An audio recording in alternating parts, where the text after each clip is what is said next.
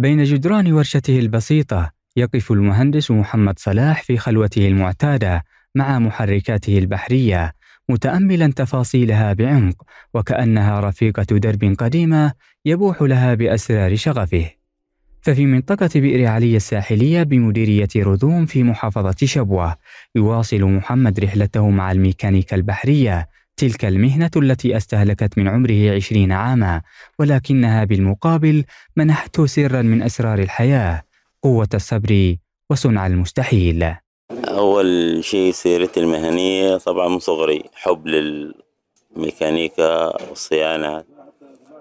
والشيء الثاني أخوالي كانوا مهندسين وأصحاب ورش كنت تردد دائما عليهم ونساعدهم في في موضوع الصيانة وده لما تطورت مهاراتي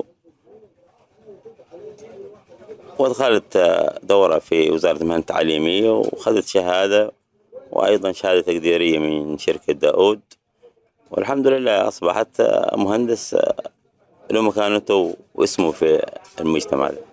قصة محمد لم تكن مجرد مهنة فرضتها عليه ظروف الحياة بل عشق قديم للهندسة الميكانيكية حوله بإرادته إلى مصدر رزق كريم.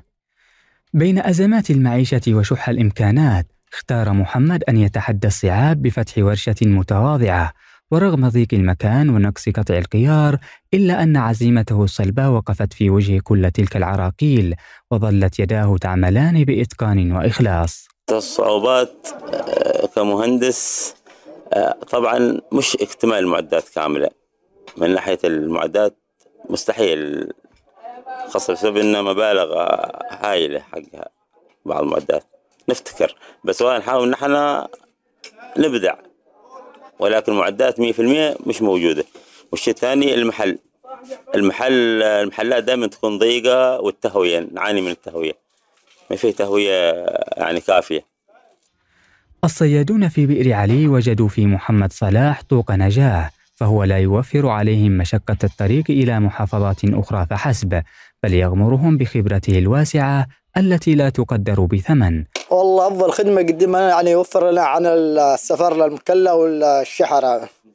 يعني لما يكون محمد صلاح مش موجود عن الورشة هو المهندس الوحيد عن في بئر علي نعتبره. ولذلك كان أطرف خلل في أطرف خلل في المحرك البحري تضطرنا انك توديه للمكلا والشحرة. لكن بوجود محمد صلاح في البير الحمد لله الأمور طيبة. وجوده هنا هو قصة تضحية وحكاية ملهمة لكل من آمن أن الشغف يمكن أن يتحول إلى عمل نبيل وسيلة عيش شريفة. محمد صلاح هذا المهندس الذي يسوق قصة كفاحه بعرق جبينه يعكس لنا كيف يمكن للحلم أن يتجسد حقيقة وكيف يصبح الشغف عملا يبني الأمل ويغمر قلوب الآخرين بالثقة في غد أفضل.